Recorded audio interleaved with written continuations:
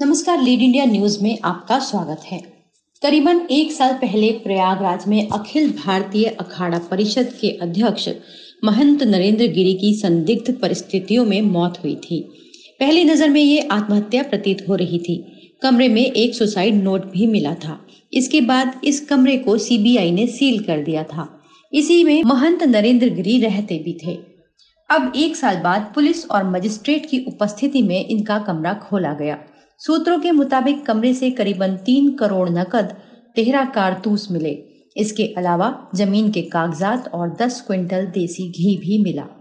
सूत्रों के मुताबिक नगद से भरे दो बैग उस पलंग के ड्रॉर से मिले जिस पर वो सोते थे। गौरतलब है कि महंत नरेंद्र गिरी की मौत के चार दिन बाद पुलिस ने पाँच लोगों की उपस्थिति में इस कमरे को सील कर दिया था। महंत नरेंद्र गिरी के बाद मठ के वर्तमान उत्तराधिकारी बलबीर गिरी ने इलाहाबाद हाई कोर्ट में याचिका दायर कर कहा कि मठ की जो भी संपत्ति या नगद केस से जुड़ा नहीं है, उसे मठ को लौटाया जाए।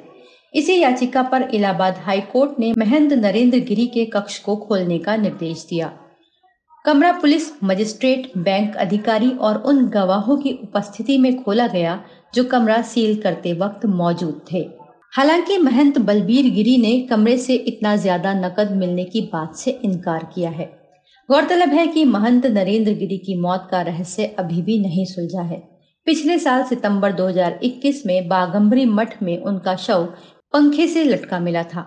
कमरे में एक सुसाइड नोट भी मिला था, जिसमें बड़े हनुमान मंदिर के पुजारी आद्य तिवारी और उनके पुत्र संदीप तिवारी और उनके शिष्य आनंद गिरी का नाम लिखा था। उन्होंने अपने शिष्य आनंद गिरी पर गंभीर आरोप लगाए थे, जिससे उनका विवाद चल रहा था। फ़िलहाल ये तीनों जेल में हैं।